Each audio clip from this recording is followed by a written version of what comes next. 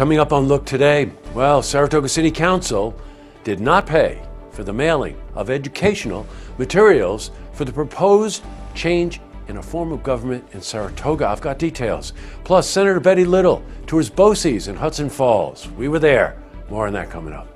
And Cafe Lena will put its new elevator to use for a very unique upcoming performance. I've got those details all ahead on Look Today.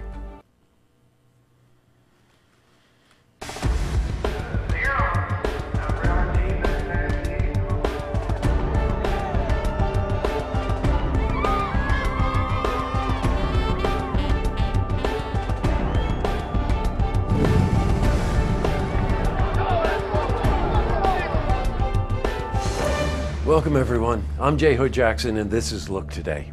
Well, on tonight's program, I sit down with Ben Lapham. He's a Green Party candidate for Glens Falls Common Council, Ward 4, and he's here to talk about his platform and his reasons for running. I also sit down with David Fiske. Now, he's a local historian, and he's here to talk about the life and times of Solomon Northup and an upcoming lecture on Solomon at SUNY Adirondack.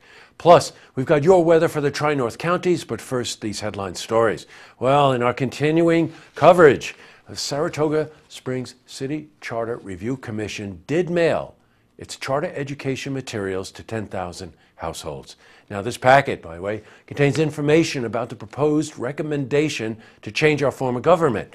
Now, the Commission, by the way, is required under state law to mail out the information. However, the Saratoga City Council did not fund the mailer. Well, we were at the recent council meeting where Commissioner Madigan spoke. We know that people vote with their pocketbook. So you put out a document that says you're going to save $403,000 every year. I mean, I, I'm, I'm, I'm really nervous. This, this crosses the line from education to advocacy because I don't believe you can do that. Now, according to the commission, Commission's treasurer, Gordon Boyd. Two members of the Commission wound up paying for the mailing when we spoke to Gordon about this. We've not only released the fiscal report, but we've assembled a mailing that includes the fiscal report, a summary of the charter, and the entire text of the charter. And we feel this is the most responsible way to inform the voters what they will be voting on on November the 7th. Now, we reached out to Success this afternoon as well as Michele Madigan and expect to get their position tomorrow, and we'll have that for you in tomorrow's news. In other news, well, Senator Betty Little toured Southern Adirondack Education Center of BOCES. That's located in Hudson Falls. Now, BOCES staff gave Senator Little an update on their rebranding efforts of Exceptional Learning Division. Now, students in the new Visions Engineering program made a presentation to the senator. Now, we were at BOCES and we spoke to Senator Little. Well, first of all, it's always fun to come down and meet with the students and the people who are involved in our educational programs. Uh, that's the best way to find out what's going on and how successful they are. And both of these programs, the skills and the FFA program and the culinary program as well, really not only teach a skill, uh, but they are great leadership programs. Yeah, I'm sorry about the dark lighting on that one. All right. We also spoke to James Dexter. Now, he's superintendent of BOCES. Our senators have, and our assembly folks have always been really supportive of our programs.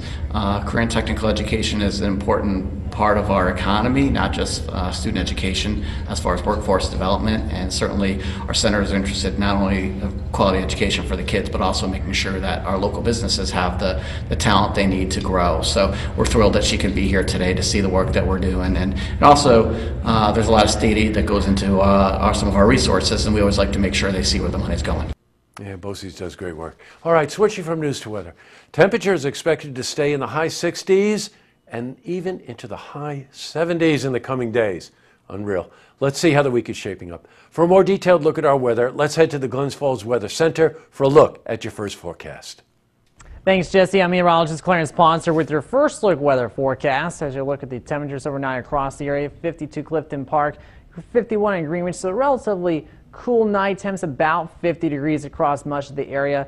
50 in Glens Falls towards Parsville and Johnsburg. 47 the overnight low. Could see a few showers, otherwise increasing clouds. 50 the overnight low, as I mentioned. We'll continue to see those few showers. 68 the afternoon high on Friday. Few showers, partly sunny as you walk out the door. Temps generally mid to upper 50s, and the extended forecast will continue to see temperatures rising once again to the lower 70s on Saturday with a 40% chance of showers. Looks like it's going to be a wet forecast with rain chances at least 40 to 50%.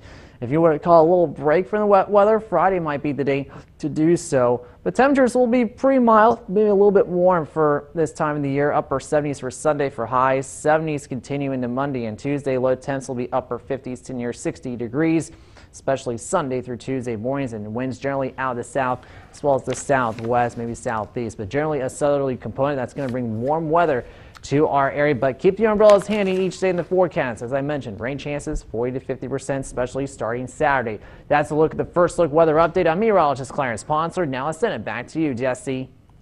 Thanks very much, Clarence. All right, back to the news. Here's a great story. You might recall back in July, we were reporting that Cafe Lena was going to introduce its long awaited elevator. Now, this historical coffee shop right in downtown Saratoga is now accessible to everyone.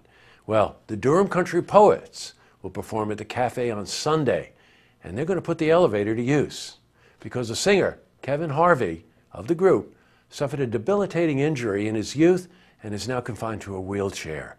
Now, we will be at that event, and we're going to have more on this after the holiday on Tuesday. Up next, I sit down with Ben Lapham. He's a Green Party candidate for Glens Falls on uh, Common Council, Ward 4. And he's here to talk about his platform and his reasons for running. Plus, I also sit down with David Fiske. Now, he's a local historian, and he's here to talk about the life and times of Solomon Northup and it's an and his upcoming lecture at SUNY Adirondack. But first, if you see news happening, you want to share a story idea, how about join us for an interview? Then give us a call on the hotline. The number is 798 8000. That's all the time we have for this edition of Look Today. We're running a little tight on time, so I've only I've got a couple of quick ones. But uh, I did want to give a look out to Senator Betty Little. It's always great to see Betty out in the community.